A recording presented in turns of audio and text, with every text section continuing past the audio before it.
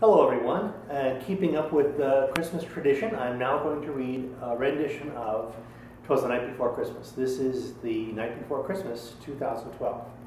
"Twas the night before Christmas, when all through the house not a creature was stirring, not even a mouse. The stockings were hung by the chimney with care, in hopes that Saint Nicholas soon would be there.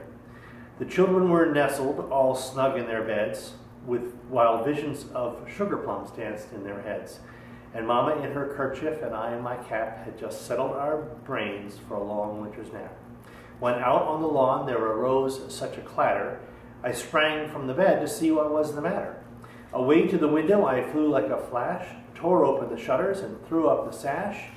The moon on the breast of the new fallen snow gave a luster of midday to objects below when what to my wondering eyes should appear but a miniature sleigh and eight tiny reindeer.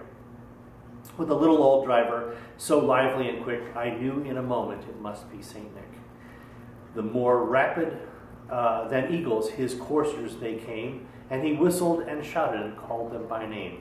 Now Dasher, now Dancer, now Prancer, now Vixen, on Comet, on Cupid, on Donner and Blitzen to the top of the porch, to the top of the wall. Now dash away, dash away, dash away all.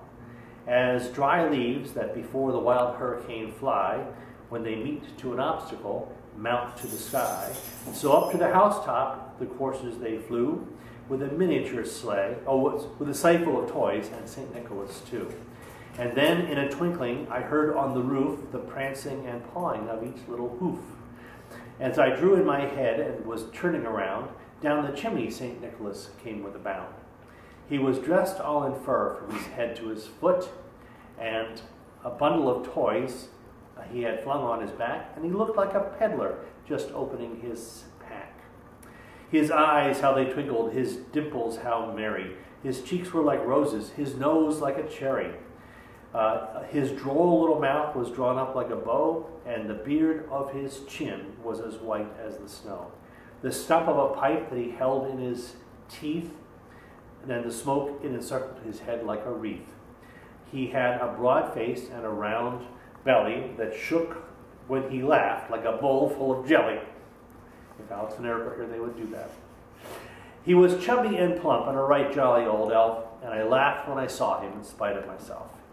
A wink of his eye and a twist of his head soon gave me to know I had nothing to dread.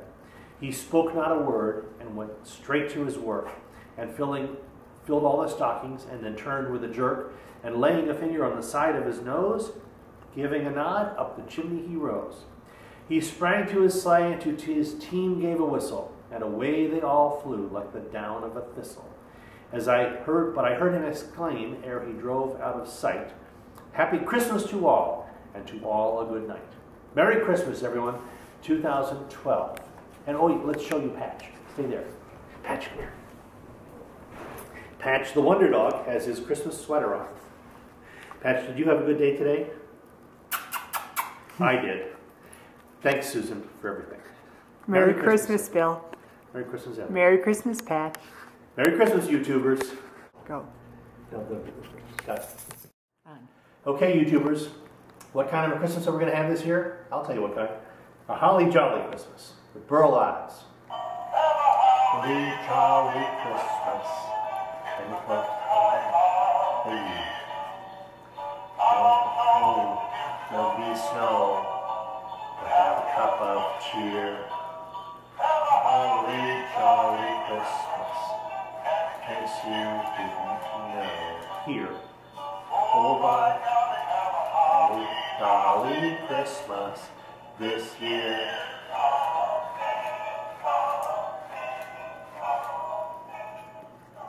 Thank you for watching, YouTubers. It's been a great year. Stick around. 2013 is going to be even more fun.